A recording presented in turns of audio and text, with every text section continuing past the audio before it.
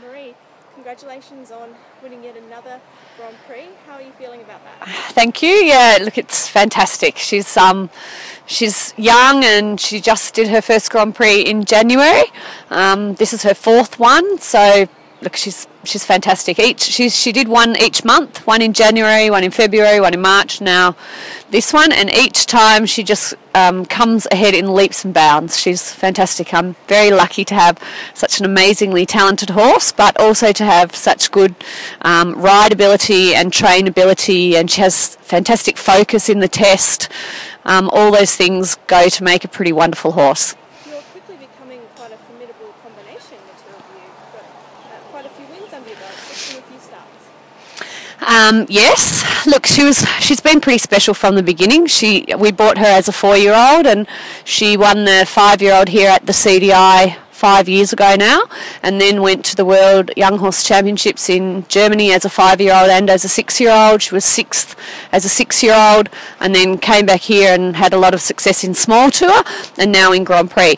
I must say though that all the time she was doing small tour, she never felt um, as comfortable or as safe to ride as she does now. This is really her. It's really where she wants to be. So she's come into her own. yeah. Yep. Absolutely. Um, so what are your long-term aspirations? Are you thinking perhaps 2016?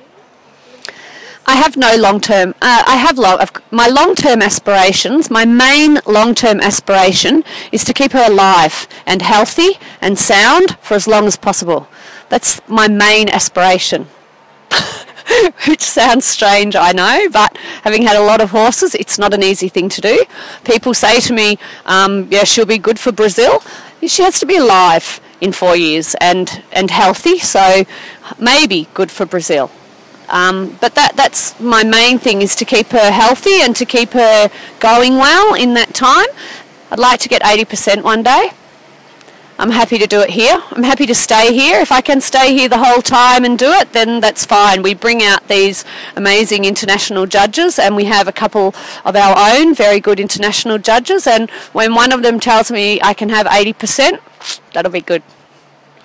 Now, this is the 20th anniversary of the, of the Sydney CDI. Yes. Victoria. Yes. What does this event mean to you? This is my 10th anniversary. This is the 10th year I've been coming to the CDI. I missed one when I was in Europe.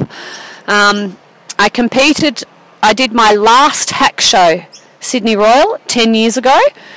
Uh, at the same time, at Easter, I got champion hack at Sydney Royal, and then I started dressage. So it is the CDI's 20th anniversary, but it's my 10th. So you're very excited to be here. yeah, it's fantastic. It's a wonderful event. Um, I think easily the best event in um, Australia. Wonderful. On that note, we might say thank you very much for your time. Thank you.